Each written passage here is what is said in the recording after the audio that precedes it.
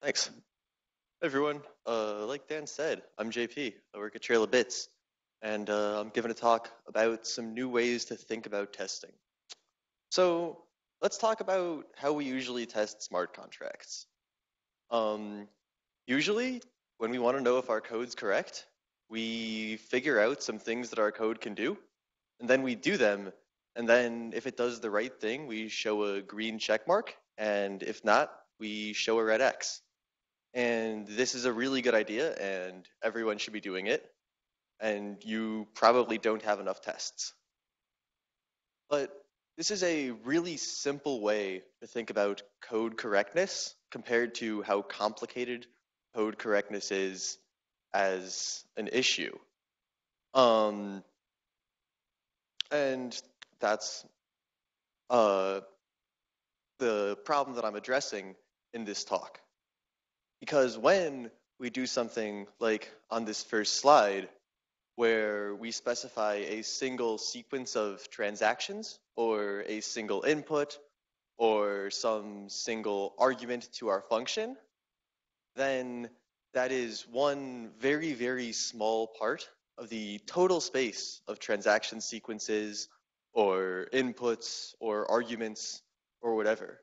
So if we have the call sequence that we just looked at, we can ask, what if that was in a different order? What if we did part of it twice? Or what if we swapped out one thing for another? Or what if right before that happened, someone else called approve? And we try to fix this by writing more tests and writing more comprehensive tests. Then we find a bug, we add some regression tests. But like I said, really, really big space. Very, very hard to cover it by picking single points. Still a good idea, still totally a thing you need to do, but not that comprehensive. So let's ask, how could we be better? And the answer is, we can generalize on the input. Normally when I test, I, I put some functions up here from kind of regular code. We pick one input to these functions, and that's the thing we test. So I'm testing my function f, and I test it with the input 3, and I say that when the input is 3, my output is 1,337. Or I'm testing my sort function, and when it says 1, 4, 2, 13, uh, and I sort that, I get out 1, 13, 2, 4.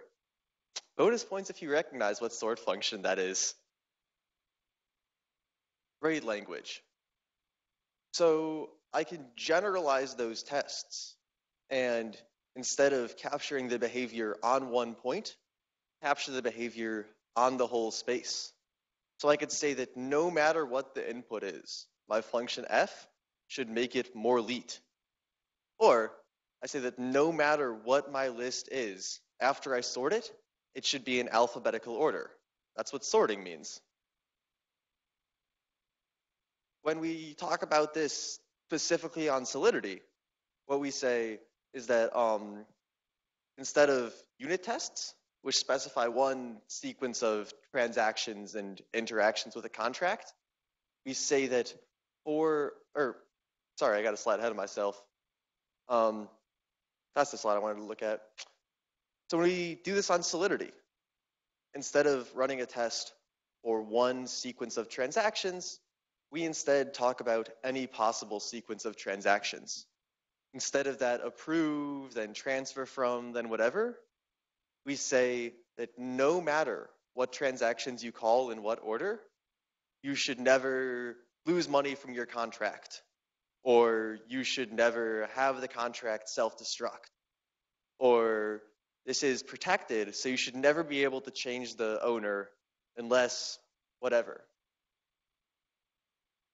And the problem is writing these tests still pretty easy, right?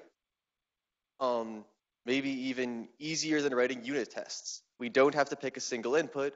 We don't need to pick a single transaction sequence. We can just describe these global behaviors of the contract that we're testing. So this is this is really nice from the perspective of creating the test itself but much harder from the perspective of evaluating it. when I ask Geth to run a particular transaction sequence, it does so with no complaints. When I ask Geth to run all possible transaction sequences, that takes a very long time. Uh, it's, it's not immediately tractable. So to test all possible transaction sequences, I have two options. Either I pick some transaction sequences to test, or I think about it harder and I actually do test all of them. And I'm going to talk about both approaches. The first approach, I wrote a tool called Echidna to do. What Echidna does is it takes a contract, and from that contract's ABI, it generates a ton of random transaction sequences and then evaluates all of them. And then every time it does this evaluation, it checks if some property holds. So this, this doesn't mean that you've gone over every possible transaction sequence, but where your old unit test covered one input, this might cover 10,000. Um, you should still have unit tests, you should still write unit tests, but frequently you will have a better time checking for bugs with 10,000 inputs than one input, especially because devs know test inputs. Um, I don't know if anyone went to school for CS and did those dumb auto-graded assignments where they have a bunch of tests and you just need to pass those tests and you get the points and you can like go on with your life. That is not just a skill you use in college. Devs love to just get tests green and keep going. But when you don't know the tests, there are 10,000 of them, that's much harder. And sometimes it's easier to just write correct code than to go and make your incorrect code pass all the tests. That's a kind of cynical view on a fuzzing, but it's the accurate one. But let's talk about when you really want that guarantee. Remember, we're talking about all possible transaction sequences. 10,000 is a pretty small number.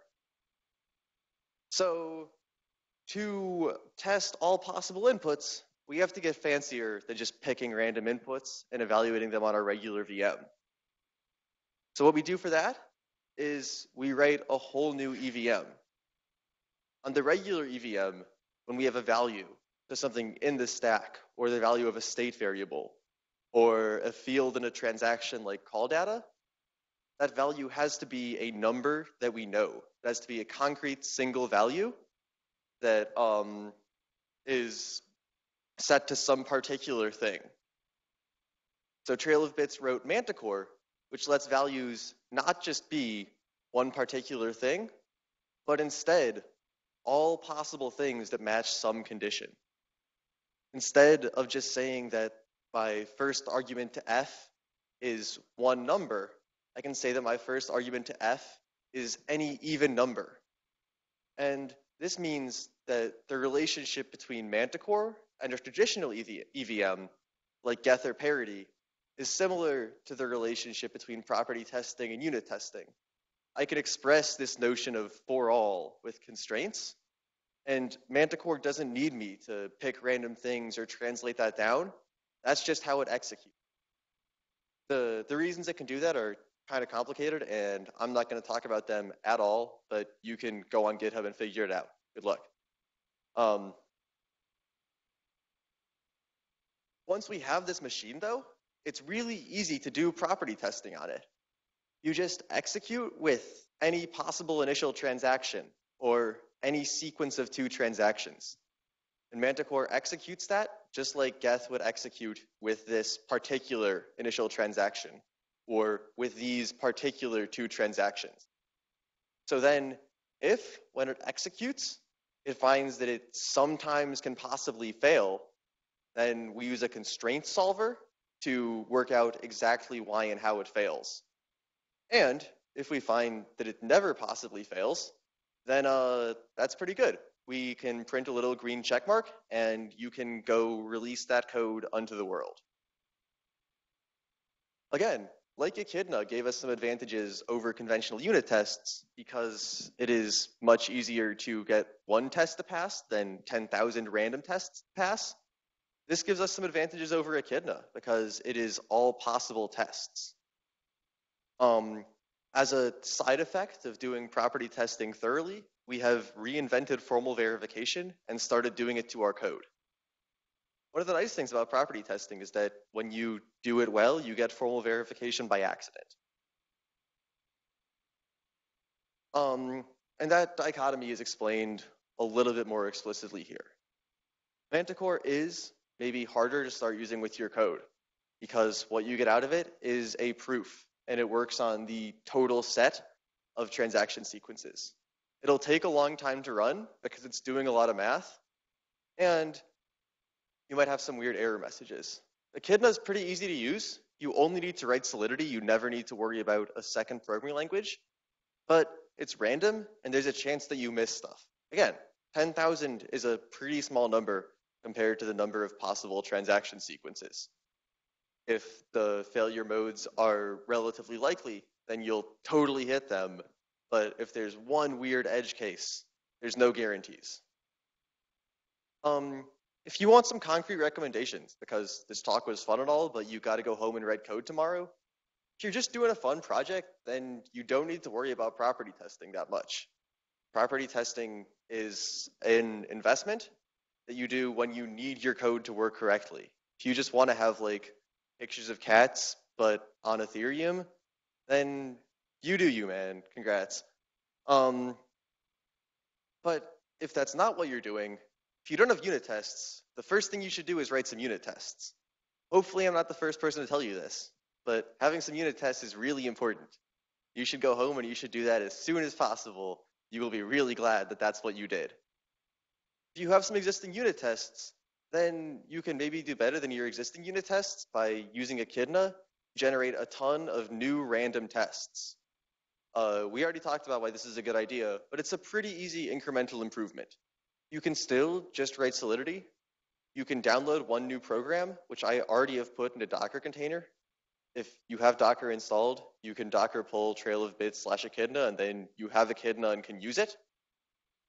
And it's an incremental improvement.